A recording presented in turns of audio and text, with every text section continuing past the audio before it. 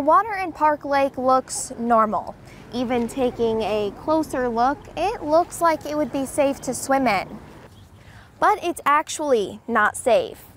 It's come back with high levels of E. coli three weeks in a row. So what could be causing it and what are the solutions? I went in depth to find out the answers. E. coli is actually short for Escherichia coli, and it's something all humans and warm-blooded wildlife already have in their system. E. coli is a bacteria it's found in our guts. That's Shannon Briggs, a toxicologist with the Water Resources Division with the Michigan Department of Environment, Great Lakes, and Energy. She says E. coli is used in water monitoring as an indicator for fecal contamination. Sometimes these beaches have high E. coli and it causes beach closures and advisories. That's where I come in and offer um, different options for local health departments to see if there's anything we can do to help them. The Mid Michigan Health Department began testing six lakes for the first time three weeks ago as part of their Bathing Beaches program.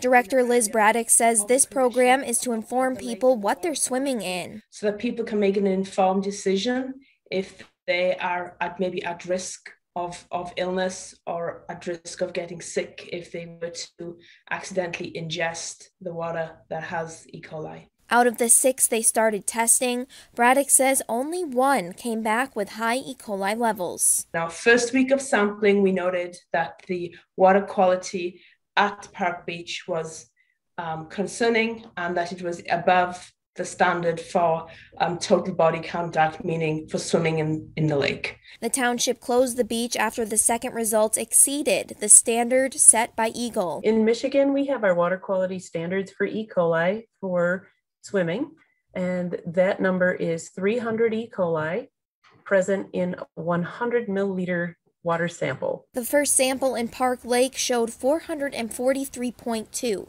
The second grew to 756.2, and the third, which was taken earlier this week, dropped back down to 443.2. When we do the sampling, we wade into um, waist deep water, and then we take three samples in the same within close proximity. Briggs says E. coli is almost always present in lakes, rivers, and streams because they aren't filtered. These are natural water bodies. They have naturally occurring organisms in them.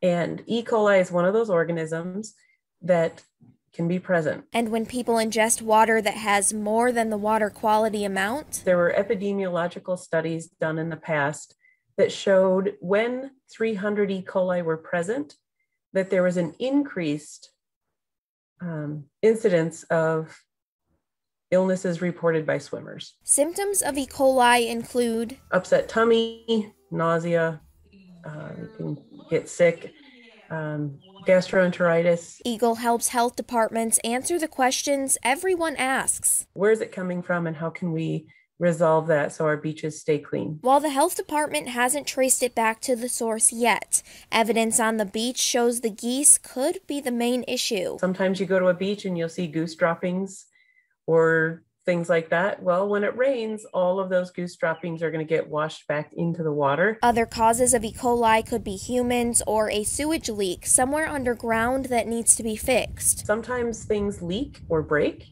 and we never knew that that happened until we monitor a beach and then we start finding something where the E. coli is high. So, what exactly could have caused the dramatic change from over 700 E. coli to 400 in only a week? It's all going to be dependent on which way the wind is blowing sometimes, how much the wind, how how high are the waves? Are the waves crashing onto the beach and then dragging all of the sand back down into the water? How do you fix it? Briggs says if it's geese, you can use dogs. There's some beaches in Michigan where they have uh, border collies patrolling the beach. And that's just because when a border collie is running across the beach, they like to bark. Or relocate the birds. There's also a goose roundup. Sometimes over, you know, you would work with the Department of Natural Resources to get the appropriate permissions and permits. But one main way to get rid of the geese is to stop feeding them. If you're feeding the birds, they're going to want to be there because you're feeding them. So if you don't want your beach closed, you know, you, you need to not, you, you can't, you you need to stop feeding the birds. Some beaches in Michigan have even had to move their swimming area to another part of the water. There have been some beach remediation projects across the state. So we've seen some long term corrections that have made these beaches just awesome, excellent, no more problems. Briggs says while these solutions have worked well on other beaches, every situation is different. Every one of them is unique and they have different hydrological patterns, they have different geology, they have different sources that come in and flow in and flow out. And that doesn't mean the E. coli will never come back. So we just have to take each one and look at the information that we have and try to make improvements as we go. The Mid Michigan Health Department is still trying to determine where exactly the E. coli could be coming from to get those levels back under 300. Your neighborhood reporter in Bath Township, Michaela Temple, Fox 47 News.